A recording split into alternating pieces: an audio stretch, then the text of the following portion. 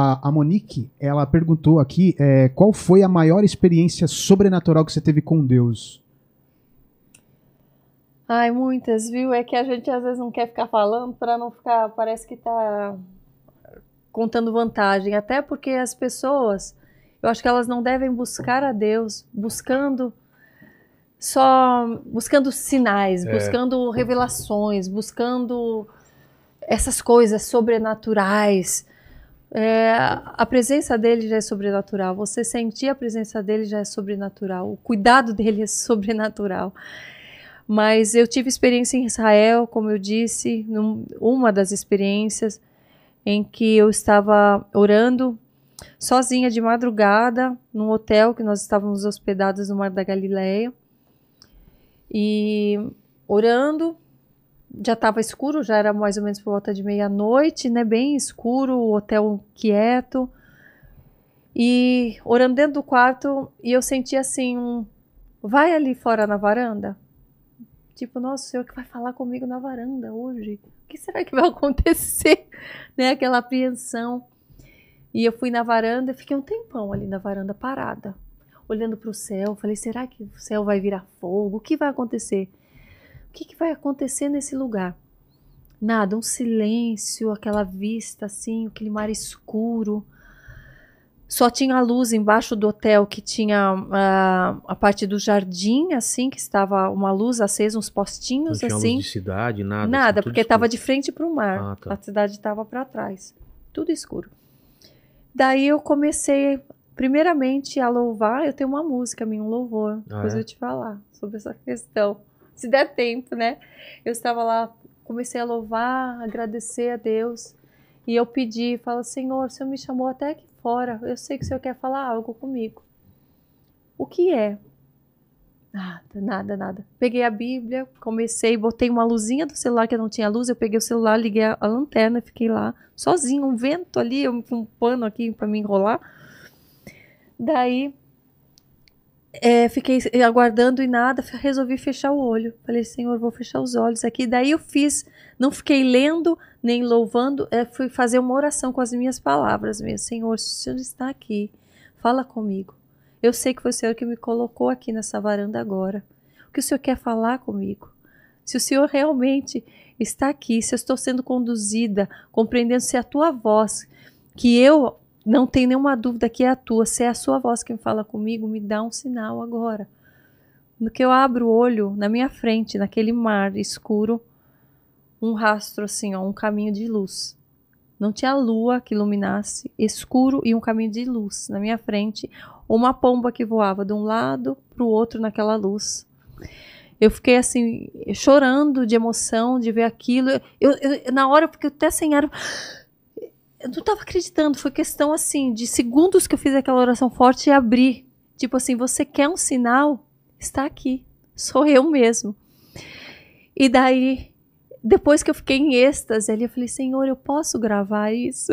Eu posso tirar uma foto? Porque eu quero acordar amanhã e ter a certeza que eu não estava sonhando, que não foi um delírio. Não é porque eu duvido que o Senhor está aqui. É porque eu, eu quero ter a certeza para mim mesmo, não é para mostrar para os outros. Eu posso. Eu já, eu já estou aqui contemplando. Daí eu peguei o celular, assim, super terça, de, de tirar foto e a coisa Sei. acabar. Fiz a foto, fiz o vídeo. Nossa. Tenho eles registrados, mostrei para os meus pais, mas é algo que eu não fico divulgando para Claro. não parecer que está ah, querendo aparecer. E foi uma experiência muito, muito profunda, muito. Outra eu tive no Monte Carmelo, que as pessoas vão poder assistir no meu documentário. Acho que eu fui no Monte Carmelo também. Foi onde foi onde aconteceu a questão do Elias, os profetas de Que dá Baal. pra você ver Você a, vê. Armagedon. É, não, não é o do Armagedon ali. Então, mas não é um monte que, que dá pra você ver Que você entra, tem até uma capela embaixo, daí você Não, então, sobe. então acho que eu não fui. Não, Não? Fui em outro monte que dá pra ver toda essa. essa... Ah, então. É onde Elias provou. Ele era o único profeta ali, contra 450 profetas de Baal, os profetas que Não, falavam. eu fui nesse monte. Você então tô foi? com- Então é, é então é outro monte. Não, não é esse que eu tô pensando, é outro. É, é que tem dois, tem É. também do Armagedon. Aqui a, a vista parece É. é, a mesma, assim, só que é por outro ângulo do Sei. Armagedon. Daí, lá, Fazia três meses que não chovia. E eu comecei a, a declarar o que aconteceu ali, né? As palavras de Elias.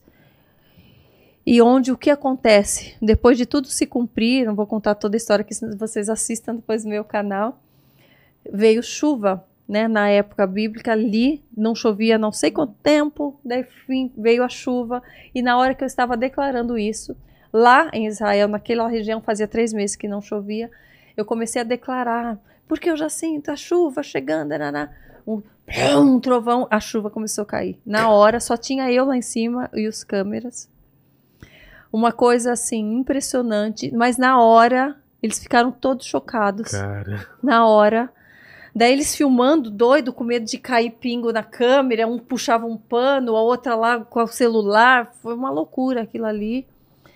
Daí a gente entrou na van depois, nossa, que impressionante, você viu na hora, que coisa que foi aquilo, todo mundo arrepiado, aquela presença fomos olhar, eu falei, deixa eu ver que vocês estavam gravando, posso ver alguma coisa? Fui olhar a foto que eles tinham feito, o vídeo estava na câmera, na outra câmera profissional, não deu para ver, fui olhar a foto.